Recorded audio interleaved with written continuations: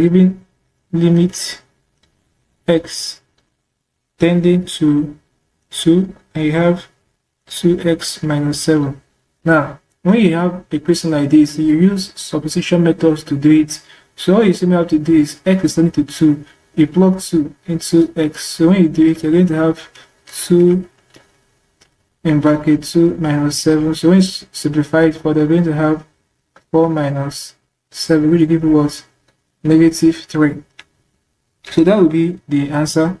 Another example that involves substitution method. Let's say you are given a question of this x limit extending to 0 and you have the values to be 3 x squared plus 2x plus 1 okay all in brackets no put this one in bracket okay so very, very simple. All you have to do is x is, is to 0 so you plug 0 into this variable x. So when you do it you're have 3 in bracket 0 square plus 2 in bracket 0 plus 1 so when you simplify further you're going to have everything here I give you. So, so everything here answer will be 1 so it's as simple as that